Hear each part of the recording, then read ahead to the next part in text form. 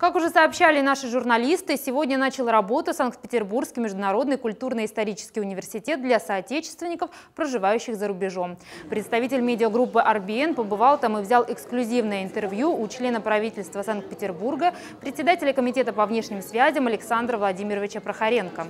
Смысл э, и цель этого проекта состоит э, не только э, в таком информационно-образовательном ключе, но она состоит э, прежде всего в том, чтобы побудить э, тех, э, кто профессионально занимается преподаванием истории, изучением истории или готовится к тому, чтобы стать историками, чтобы они получили наиболее современные, наиболее отработанные трактовки, знания по сложным так сказать, сюжетам российской истории, в том числе и современной истории.